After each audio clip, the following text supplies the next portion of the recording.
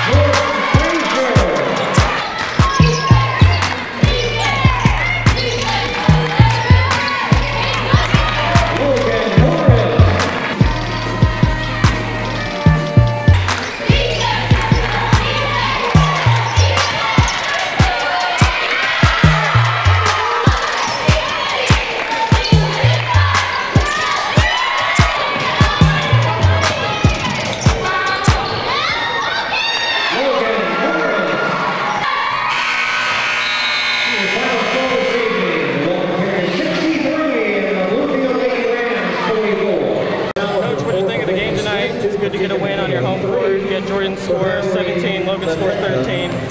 What's your thoughts on the night overall? You know, Kyle, I thought it was a great team effort tonight. I thought we we played with some great energy.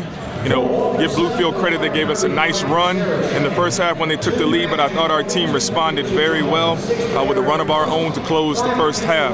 And I feel like that was a springboard and gave us some momentum going into halftime, and we just used that coming out.